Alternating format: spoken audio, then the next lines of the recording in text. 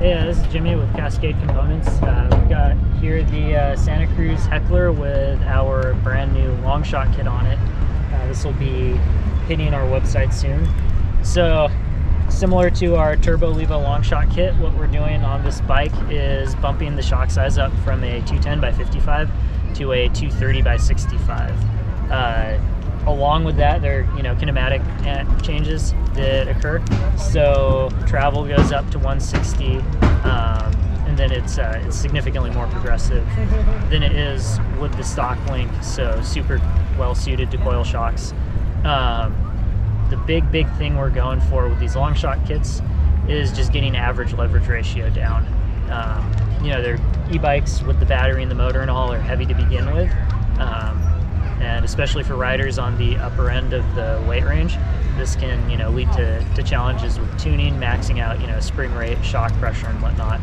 So being able to drop the average leverage ratio by about 10% goes a long ways in, in letting people get their bikes set up, um, you know, just the way they want it. Um, you know, putting people more in a usable range for shock pressure and spring rate, um, especially when you know they're they're pushing the uh, the upper limits of what can be done uh, with the stock setup.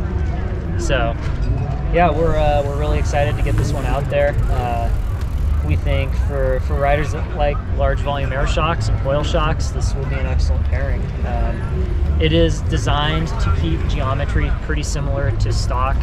Uh, this particular iteration, uh, the bottom bracket is a touch lower when when we release this, fully release this, uh, it'll have an upper link on there that puts it a little bit closer to stock. So it'll it'll be pretty similar to uh, to what it was before.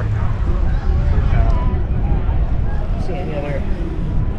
Sweet man. So check out the website. How long before you think these are available? Um, we're getting them scheduled on on our machines at the moment. Um, depending on how long what we have going on right now takes, which you know is can be hit and miss.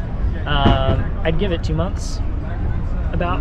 Uh, yeah, and ano is another thing we can drag on. Uh, you know, sometimes ano takes forever to turn around. So for sure. But, but yeah, I mean, the, both of these programs have been run, you know, as if they were both the CNC programs for the upper and lower link have been run as if they are production. Um, so it's it's going to be quick to, to get them on. And, you guys make links for what other brands? I know there's a slew of them, but uh, I, I, used to be able to rattle them. I know, off. just top uh, of your head, the most popular. off the top of my head, Santa Cruz, uh, Specialized, Transition, um, Yeti, Evil, Kona, Norco. Um, let's see, do a giant Reign link. Um, just did Cannondale Jekyll. Uh, I know I'm forgetting yeah, no worries. And if they want to find you, it's just cascadecomponents.com, right? Uh, cascadecomponents.bike. Dot bike. Okay. All right. Um, and then, yeah, we're uh, up in Everett, Washington. Anything within the states is free shipping. Um, machine everything in house. Uh. Sweet. Thanks, man. Appreciate all your help on this. And uh, yeah, guys, just uh, take a look at their website. They got some really cool stuff. Thanks again, Jimmy. Appreciate it. Yeah, thank you for uh, for letting us test fit stuff with yeah, you. Yeah, of course, man. Thank you.